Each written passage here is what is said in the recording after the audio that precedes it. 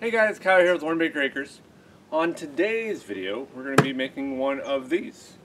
Um, if you guys don't know what it is, it's a five-frame nuc, or short for nucleus colony. All basically is, is a small, self-contained hive for starting new colonies, catching swarms.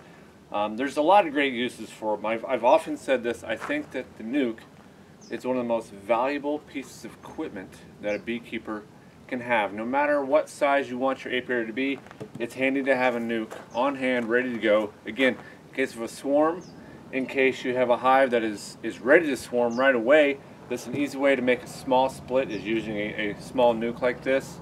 Um, they're light, pretty lightweight. You can throw them in your vehicle and just have one in there at all times in case you happen to be driving by a swarm. They're just a great piece of equipment to have and they're far too simple to build for you to end up having to buy one. Um, some of these go for well over $100 when you buy them. I can make this with material included for about five bucks. That's not, not frames included, but just for the material involved with this for about five bucks for one of these. So I'm going to get ready to show you exactly how to build one of those coming up right now.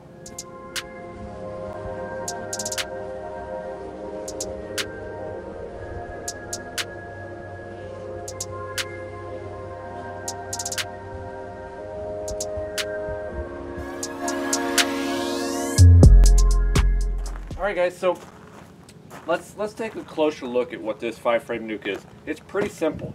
All right, we have our our top cover, our lid, whatever. The box is in the inside. We have frame rests right here, which double as handles. Pretty handy, right? We have our front with our entrance disc right here. Obviously, the entrance, the hole, right there. We have a small landing board area right there. Pretty simple, guys. So, you can actually build four of these from one sheet of OSB board. Now, a note on that OSB board. Um, a lot of people have issues with building outdoor objects using OSB board. They think it's not going to last. I will tell you that some of these nucs that I have are about three years old and they're doing fine.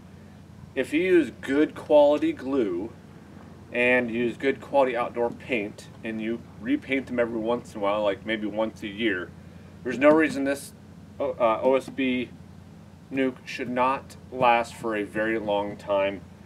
Honestly, and even if it only lasts for a year, it's worth it in the long run because of the very minimal cost involved. You can build, again, four of these out of one 4x8 sheet of OSB board, okay? I'm going to have a link in my description for a full write-up how-to on how to do this. So it's a good way to follow along is with that write-up. Again, the link is in the description, so make sure you check that out. Okay, so we started off with one 4x8 sheet OSB board, um, about half inch. I think it's 7 16ths is what I use. Um, you can also use 23, 30 seconds. The measurements aren't off too much for that. So, and then what you do is you take that sheet, that 4x8 sheet of OSB board, wherever you buy it from, either the blue store or the orange store, you will cut it out into two 22 inch strips. And what's going to flash on the screen is kind of the cut list here. What you're looking at right here on the screen is the overall cut list. And again, this is on that um, link that I shared in the description. You'll see an image there, so it's easier to follow along. But you see those 22 inch sections, you cut it down into those four 22 inch sections and then you're left with about a six inch strip as well. You take all those um, and either the blue store or the orange store, they will cut it for you. It makes it way easier so uh, it's less cutting that you have to do and it's easier to handle, okay? So once you have those sections cut, okay? Um, I've got the four 22 inch sections plus the one about six inch section here. There are some tools that you will need. You will need either a circular saw, if that's all you have, but preferably a table saw to make the rest of your cuts. Uh, it's just a lot easier, especially since you're going to probably be building four of these at once anyway, since that's what one 4x8 sheet of OSB board builds is for. It's a lot easier just to kind of mass produce, and that's what we're going to do today is mass produce four, but I'm going to focus on the assembly of just one of them, okay? Another thing that you'll need is a 7, 7 8 inch spade bit, and again, all this information is on the website, okay, in case you forget, um, you can always reference that website. But again, uh, 7 8 inch spade bit for drilling the entrance hole.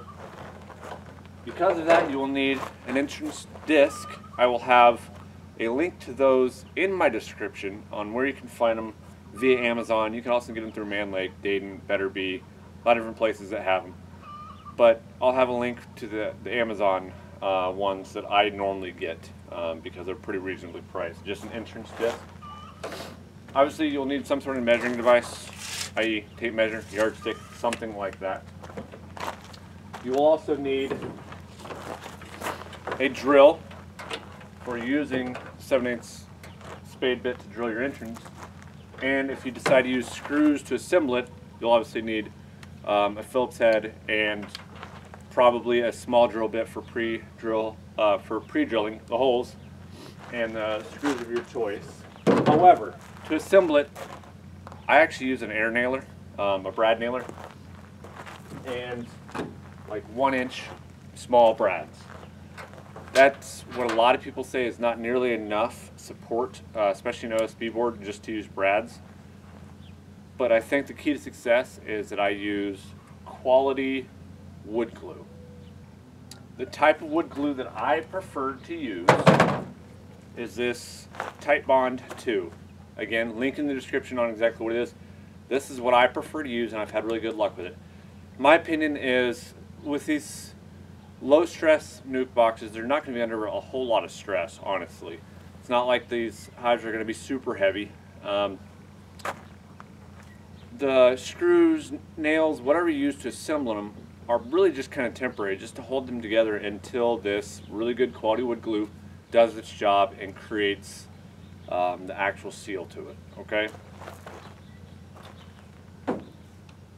So, and that's about all the tools that you'll need. Obviously safety equipment, some sort of glasses, if you want hearing protection, gloves, things like that. So use caution. This build involves power tools. Make sure you know what you're doing. Um, you can always contact a friend that has power tools if, if you feel more comfortable having them help you with this pro product, this project, I'm sorry. So let's jump right into it. All right, now that we're all set up, the very first thing that we're going to do is, again, we're, we're going off these 22, 22 inch sections that we've already cut. Okay, that's the assumption that I'm making that we've already cut these 22 inch sections with that leftover about 6 inch piece. So the very first ones that we are going to cut out are the tops. And again, if you reference um, that photo I have on my website where I screenshot it of the cut list, the tops are 9 inches wide. So we're going to set, we're either going to mark the pieces at 9 inches and use our circular saw, or like I said, I prefer using a table saw. We're going to set it to 9 inches on the inside of the blade to account for the kerf or the, the cut from the blade width. So we're right at 9 inches. Pretty simple stuff.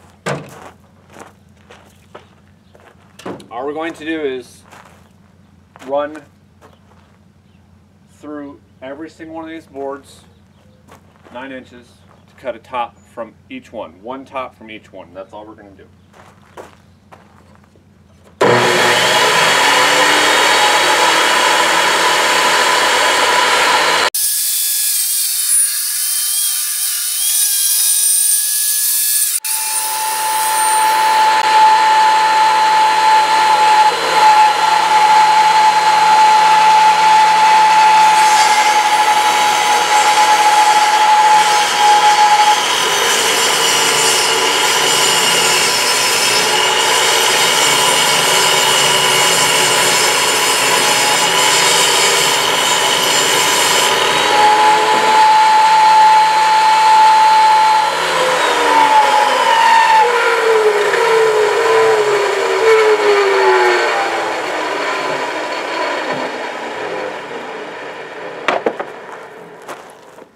pretty simple, right guys? We're just to follow along this cut list.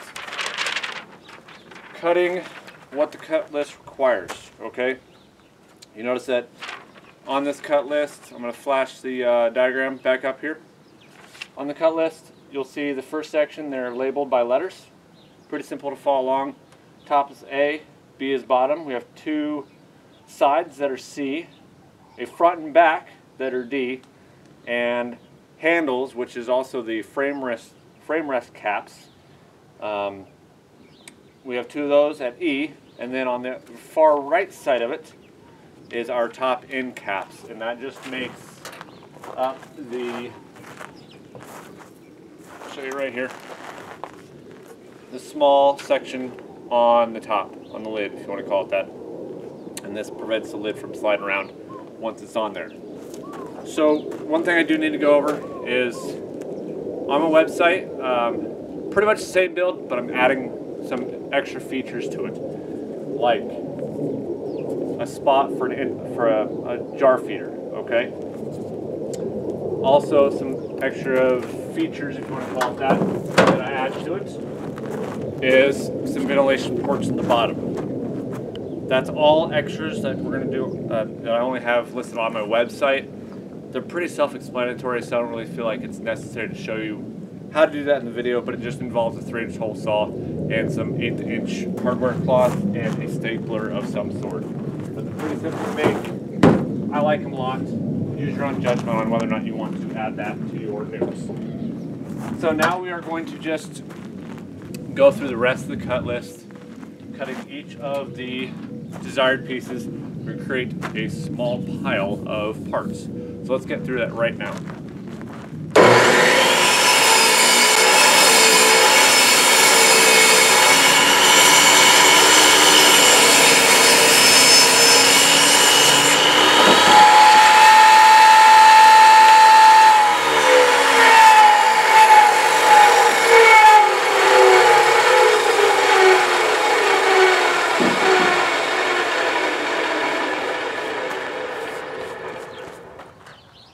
Got them all cut except for the top end caps, uh, which again is just those cleats that go on the on either end of the top. Um, I've got them cut to width, but to cut them to length, I like to use my uh, my um, miter saw basically, um, and that's just easier for me. You can still use table saw, circular saw, whatever you want to use to cut them to length, but I prefer to use my miter saw. It's just easier like a chop saw um, to mass produce. And so I'm going to get that set up and we'll be done in just a second.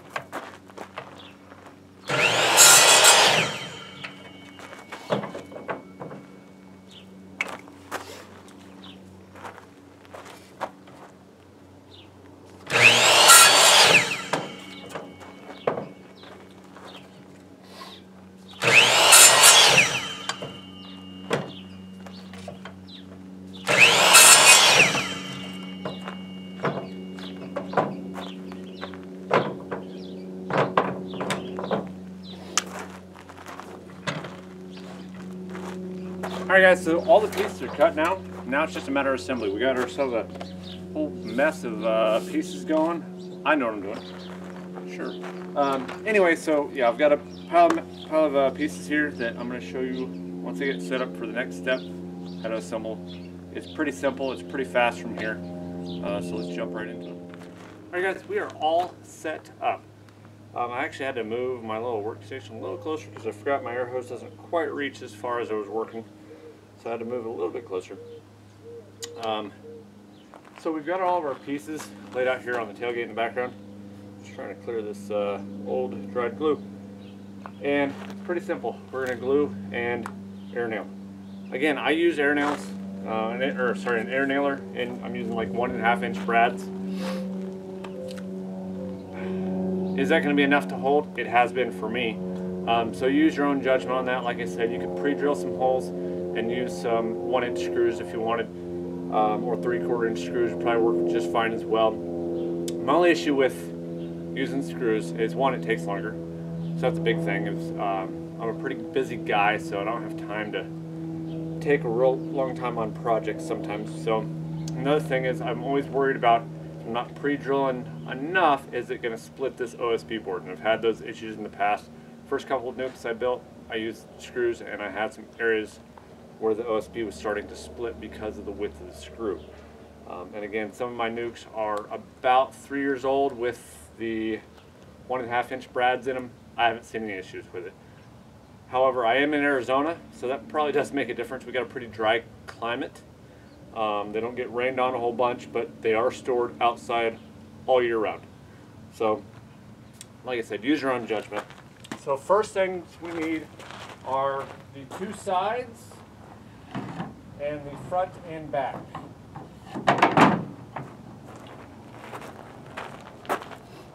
Now, I think it's important to note orientation of things. So I'm going to bring this nuc over here for reference.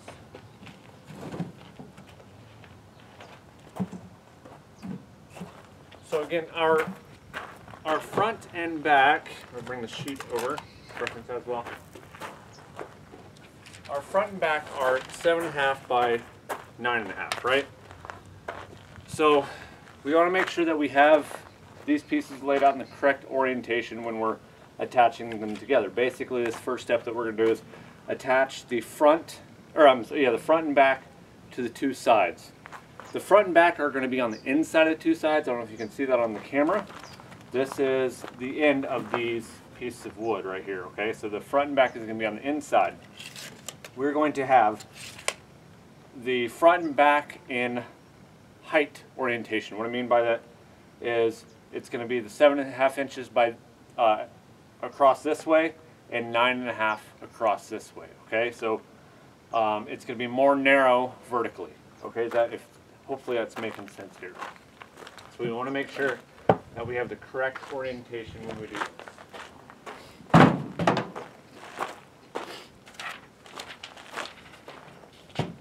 So my little workbench here. Uh, this is actually given to my dad by his dad kind of thing and passed down to me. It's a real nothing little workbench, but what I love about it is that it clamps together. Um, it adjusts for size, and I use that as a clamp per se, which makes this job a lot easier. Another thing to speak on with this OSB board is, I don't even know if I'm cutting off my head here. Sorry guys. Um, so there we go.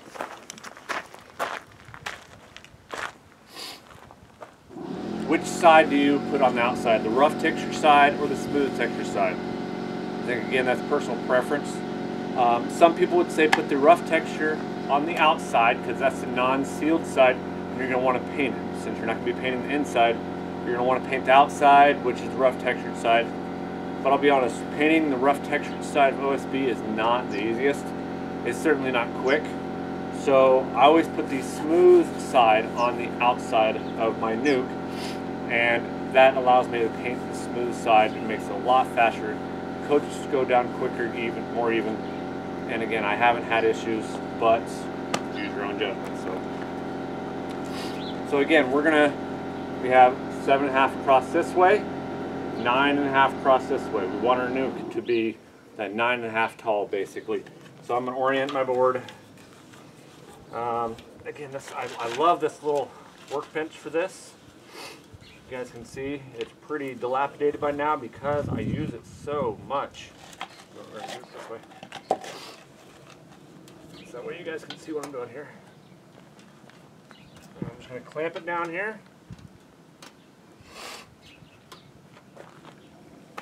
I'm going to run nice thing of glue, nice strip of glue down it.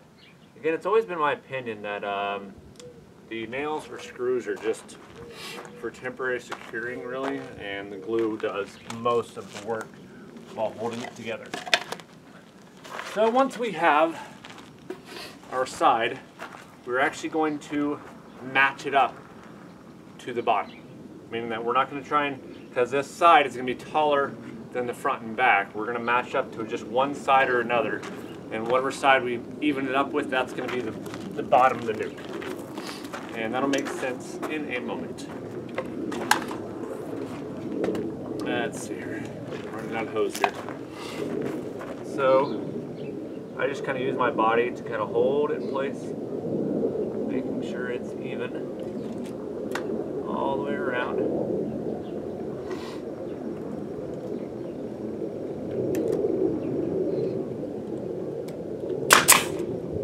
And of course, that's embarrassing. Yeah, we'll edit that out. So again, I'm going to make sure it's even all the way around. It's lined up properly. Okay, now it's kind of held in place.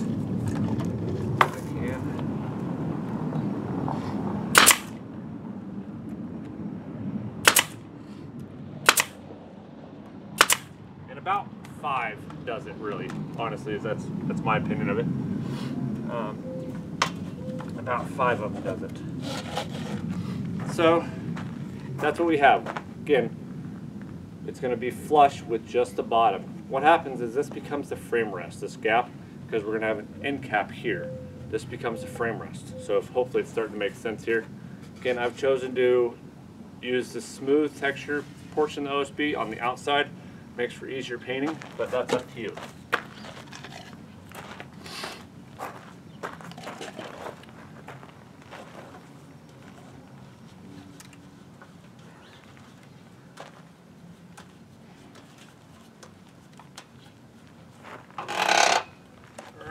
Again, another line of wood glue.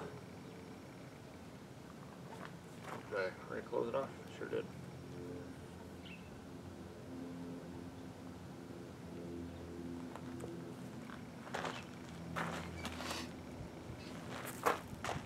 Now, keep in mind that we're going to want to keep it flush on the same side. Since it's flush on this side, we're going to want it to be flush on this side.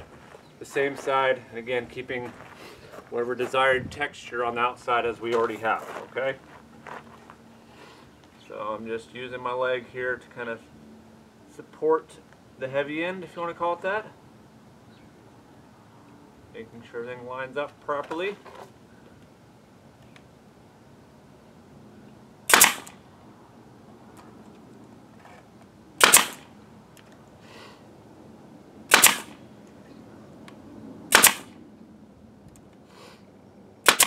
There we go.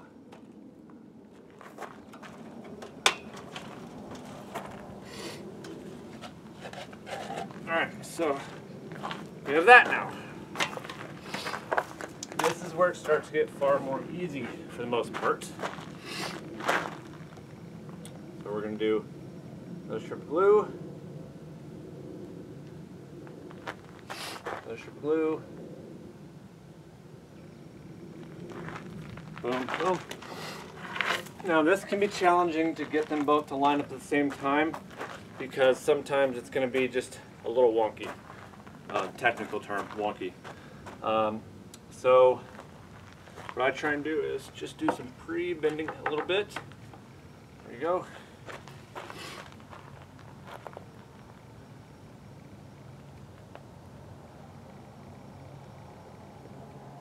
And that's not going to be perfect, but it will be in a moment.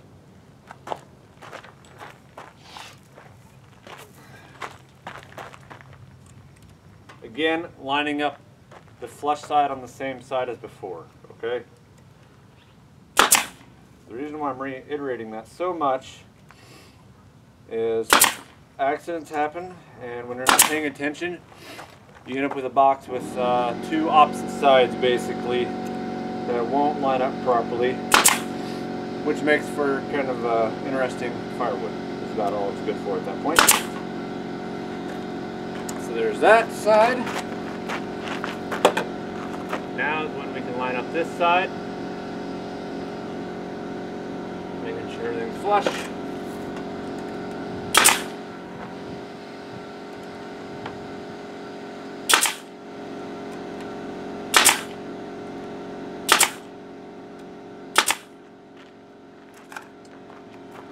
Now we're at the point where we can attach the bottom.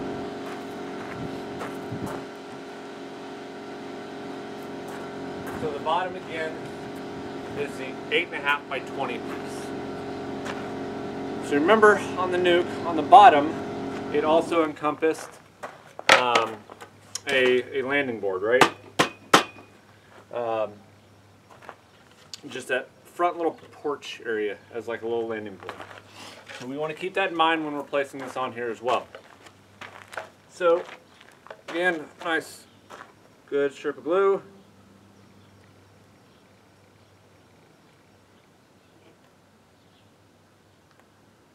All the way around.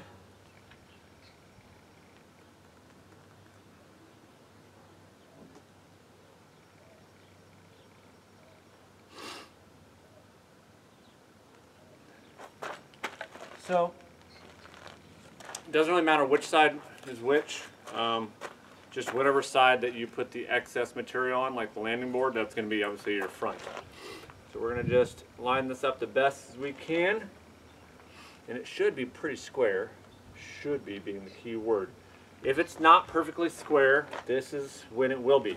This is when you're going to force it into being square because your bottom board should be fairly square.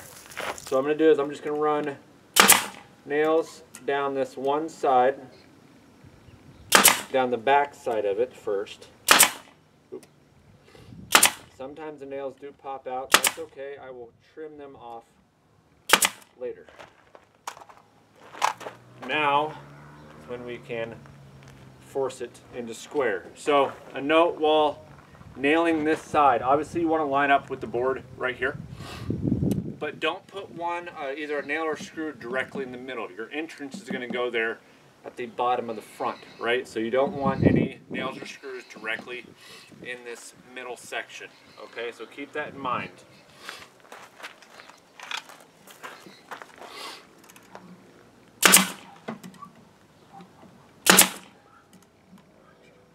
Again, I really only ever do just not very many.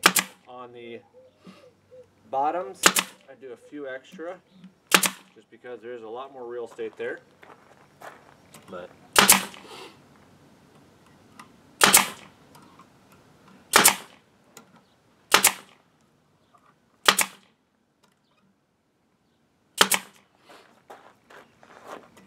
And really on the front section, again, being mindful that you're going to have an entrance hole somewhere.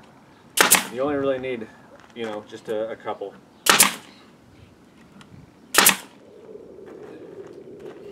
And that is it for the bottom section of the nuc, right? We're going to let that dry um, while we work on the rest of it, okay? The rest being, we got to make sure that we put the handles on. I'm sorry, we're almost done with this. So, the handles, which will go in this orientation, right? Okay. Not only the handles, but they will double as the frame rest caps, if you want to call that. Um, so, again, just a decent amount of glue wherever you think this handle is going to be contacting. Um, if you're going to use extra glue anywhere, this is probably the place to do it because the handles are probably going to be under the most stress compared to anything else, any other part of the nuc at this point. The handles are probably going to receive the most stress. But again, it's not like these nucs are ever going to be real heavy, so you don't have to worry about it too much. So you're going to line it up flush with the top, pinch it in place, and put nails down each end of it.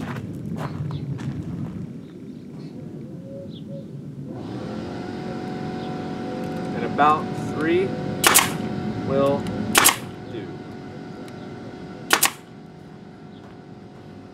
That side, three on this side.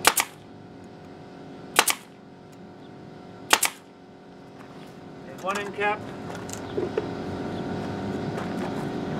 Now I've noticed that I'm uh, putting this on because of this front porch area, the landing board, whatever you want to call it, um, if I put the same side as, as that, put that hand, handle on first, It makes it a little easier once you flip it over to balance. There's not as much of a difference in, in levelness or height, whatever you want to call it there.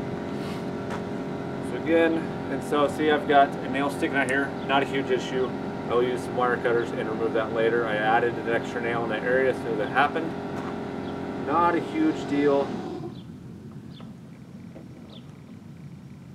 So I'm just putting a decent amount of glue right here.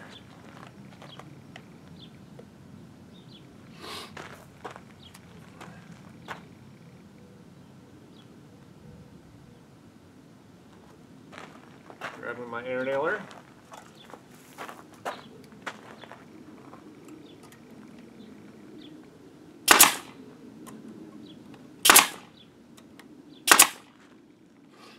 Good.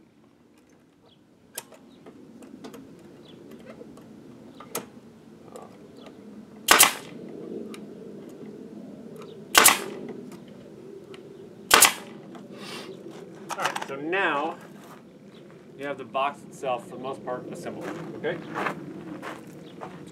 All that is left is for us to assemble the top. I can find, there we go, our little end caps here. The top is pretty simple.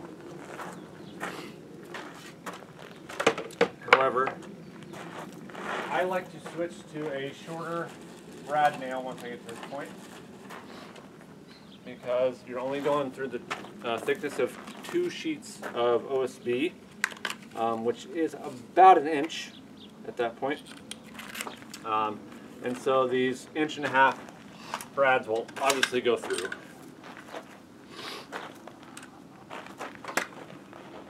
So I'm just going to switch to these, I think they're three quarters. No, they're one inch, one inch brads.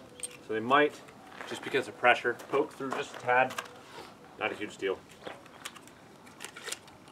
So yeah, these, these nucs are not going to win any carpentry contests. Um, if you by now you've probably noticed that these are similar to other people's nucs. They, I mean, they're all. Um, I don't know who created the cut lists. There's lots of various cut lists. This is what I found to be the most useful.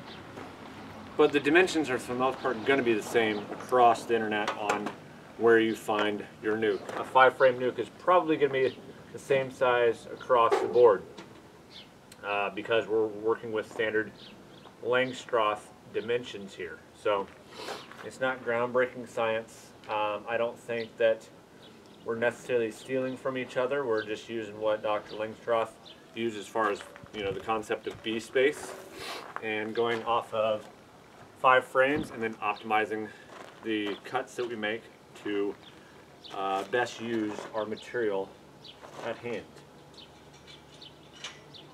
So these end caps, and cleats as some people call them, their whole purpose is prevent the top from flying off during the wind. It kind of helps secure it a little better. I won't say that it's perfect, but it does work pretty decent.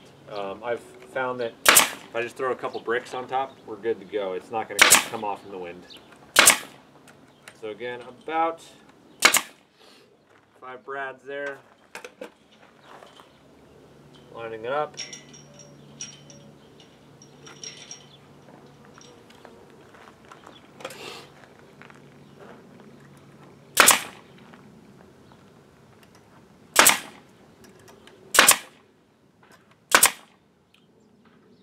Oh, something I should mention, the orientation of these end caps.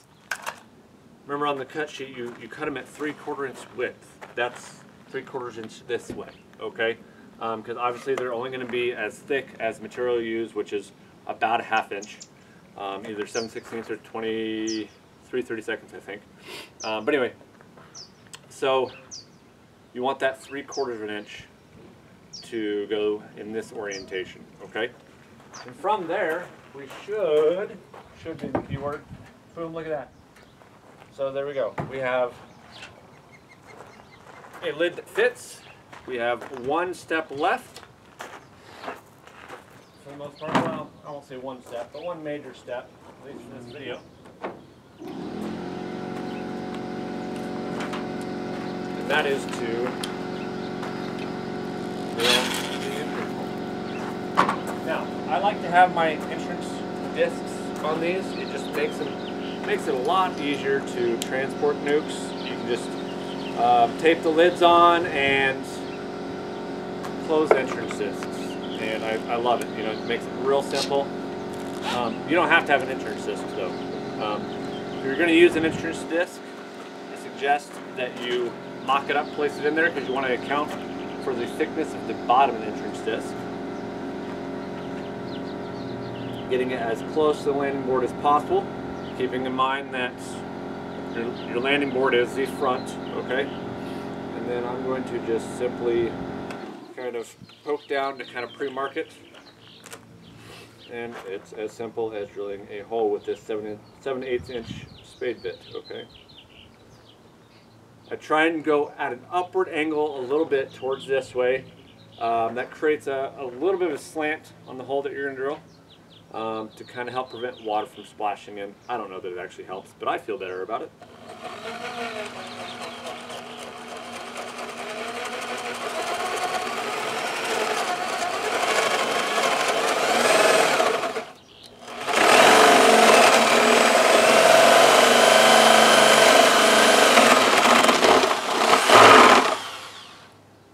You notice that I didn't really force it, um, and it, it did it anyway, but OSB likes to chip quite a bit when you're using a spade bit. It just, it loves to chip quite a bit. Not detrimental to the situation, but um, I'd prefer not to have chips if I don't have to. And if you go a little slower than I did probably, um, as far as a decent speed on the drill but not pressing very hard, uh, then you should be good. So, what do we have left to do? Well, if you're following along on my website, then you'll notice that there's a few extra steps. And again, all that's for is for cutting a hole in the lid, adding um, 1 8 inch hardware cloth, and that's for a uh, feeder jar. And that fits a standard small mouth mason jar lid. And I did that for a reason. I can buy a whole case of mason jars with lids for real cheap compared to buying actual bee feeder jars and then I just poke holes in the lids of the mason jar. That works just fine.